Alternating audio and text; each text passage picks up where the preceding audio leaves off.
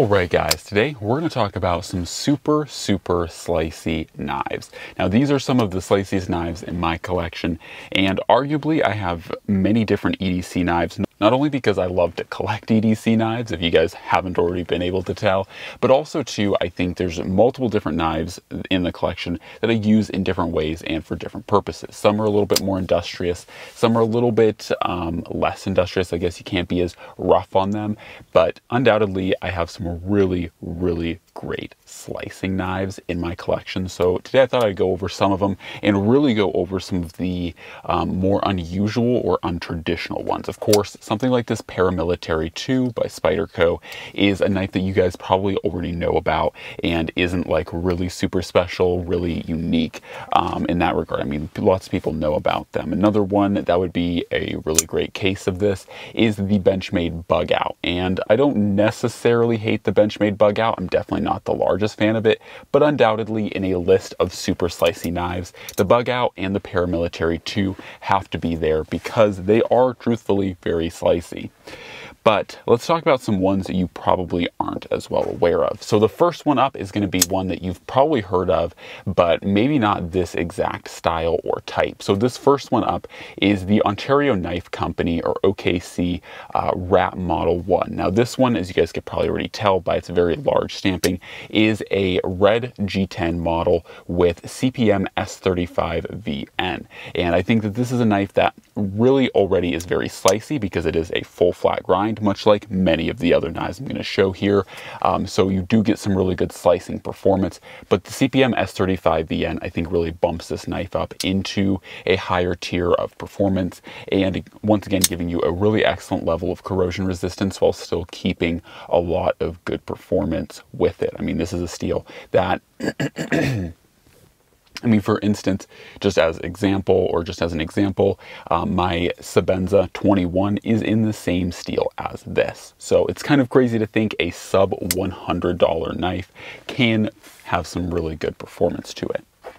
So those are probably the ones that you'd be most familiar with. Now let's jump into a few that you're probably not as familiar with.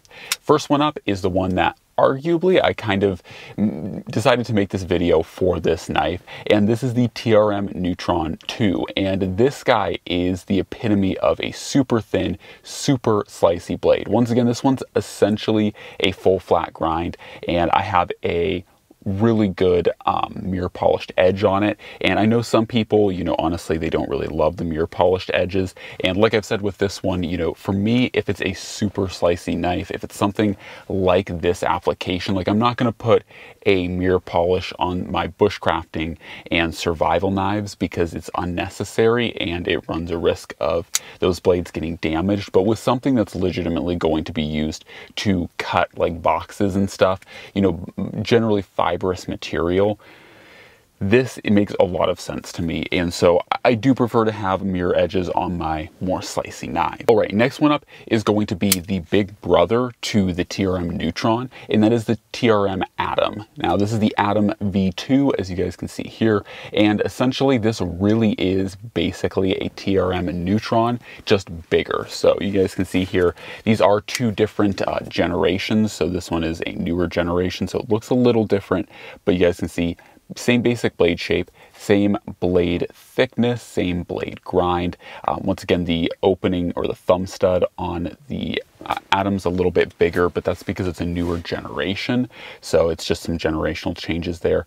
But anyways, so the TRM Atom is another knife that I really, really like because it shares so many of the properties of being a super slicey utility knife that the TRM Neutron has. The other thing I like about it is that the same basic blade shape, handle shape carries over, but the nice thing is because this is bigger, you actually have a proper finger choil here. Now it's not the most pronounced, but you can easily put your finger right there and get right up on that blade. And for those who don't know, uh, I love my forward finger choils. I am preferential to them. But yeah, so this thing, super nice action and uh, super, super slicey. And like I said, I mean, it's a, a very thin, basically full flat ground 20 CV blade. All right, next two up are actually Axis wannabe knives, essentially. So this is the Able-Lock by uh, Hogue with their Deka. And the Deka, I mean, if I have a Benchmade bug out on here, I have to throw the Deka on here because this is essentially Hogue's answer to the bug out. So it's very thin, very slicey, and it's overall a super pocket friendly blade. So like I said, this is the Hogue Deka with a Wharncliffe uh, blade style. This one is in CPM Magna Cut, but you can get them in CPM 20 CV as well. But overall, these things, I mean, once again, they're super lightweight, super thin, super slicey. They are hard to go wrong with. And they're also pretty reasonably priced. All right, last one up on the list, and I feel like I saved the best for last potentially, but this one's also the last because I feel like this is the highest level of unobtainium, and this is the TRM Shadow. So you guys may or may not be familiar with this knife, um, but this guy is essentially TRM's version of the Axis lock, and once again, it holds a lot of the same properties as the Atom, as the Neutron, with that same blade stock thickness of um, CPM 20 CV, and it also has the added benefit of being an Axis lock, right? And a very well tuned Axis lock, I will say. It's, uh, yeah, definitely really nice. I, about the only thing I don't fully love is that um, it really wants you to choke forward up on this choil. Uh, my hands are a little cramped on the back, but the shadow is super comfortable and it has that very nice, not only like thin blade stock, but it has that sweeping belly to it. So very good for like actually, you know, like rocking motions, or I guess I should say like rocking style motions. If you were chopping, this would be a good uh, knife um, for like chopping things like food prep. But overall, it has a almost like a wannabe um, kind of Wharncliffe or reverse Tonto, as some people might say. But uh, yeah, I think this thing is very, very purpose driven to be a slicer and a kind of food prep styled knife. But love that action. It is really unbeatable. And yeah, so these are some of the uh, most slicey knives in my collection and hopefully a good amount of these have been kind of like unusual and traditional.